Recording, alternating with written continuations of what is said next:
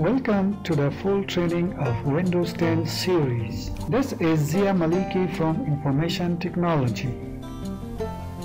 In this series of videos, I'm going to show you how to use Windows 10 from scratch. Some of the new features as well as some of the old ones that have been updated. As you go through this series of videos, we will be doing some exercises.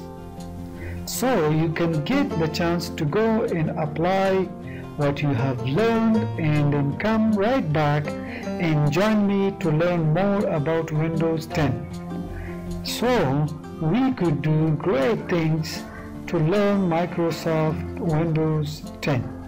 Windows 10 is Microsoft's latest and one of the greatest operating systems. But the interface is quite familiar. On the desktop, we have icons. And as we continue, you will learn how to load it all with your favorite icons and shortcuts, folders and programs. The lower left corner of the screen is where we can see the Windows Start menu, which is more advanced and better than ever before, but still very familiar. We can go to the Windows desktop. We can go to our Start menu to launch our applications easily. Right next to the Start menu is Cortana. Cortana is a voice control virtual assistant created by Microsoft for Windows 10, Windows 10 Mobile, Windows Phone 8.1. How does it work? Cortana can be voice activated or you can type your questions or command and she will respond to your question and provide search result for you. To the right of the Start menu is the System taskbar. You can see familiar icons on the taskbar, such as Word, Excel, Windows Explorer, and more. If you notice, the taskbar has a couple of new icons. Stay tuned for the next few videos as we will learn more about those later. On the lower right corner, we have the system tray, which is quite familiar. The clock, the volume, and a few other icons that you are probably very familiar with.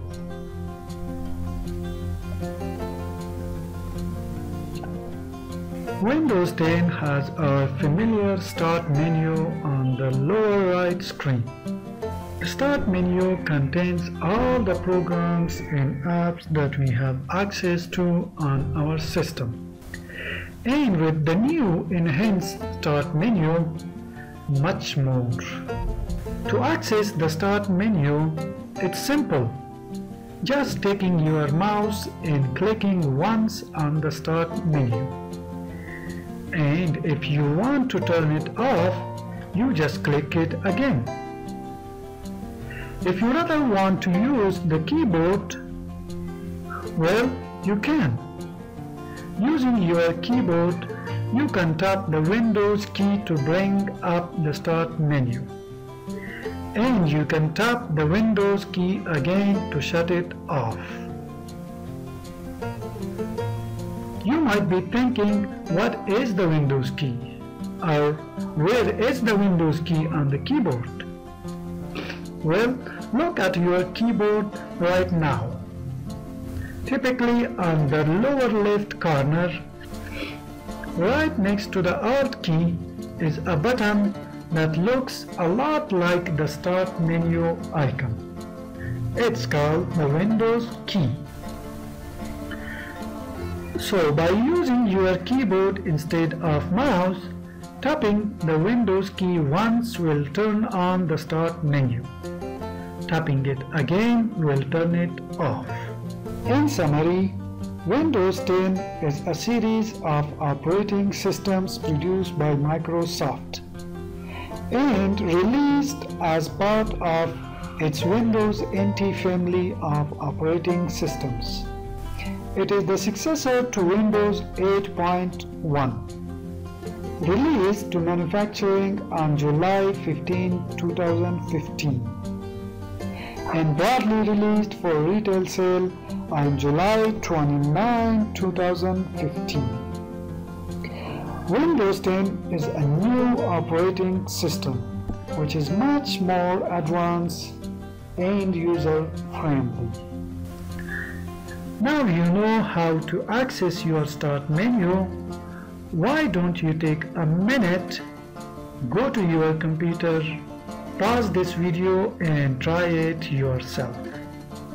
You can either use your mouse to get to the start menu or use the keyboard Windows key. Once you practice this, come back as we will teach you about all the tools and applications that you can see and access from the start menu.